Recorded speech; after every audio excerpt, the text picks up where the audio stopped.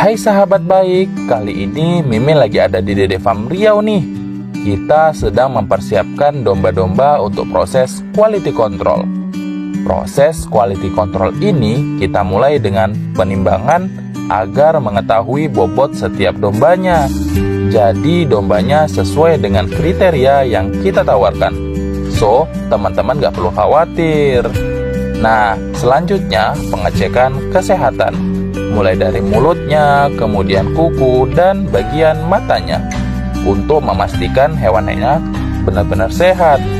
Oh iya sahabat, hewan yang kita tawarkan pasti dijamin jantan semua loh. Nah, nantinya hewan-hewan ini akan kita sebar ke pedalaman Riau melalui program tebar hewan kurban bersama Dompet Duafa Riau. Bagaimana sahabat? Sudah siap tebar hewan kurban tahun ini? Kurban di Dompet Duafa Riau.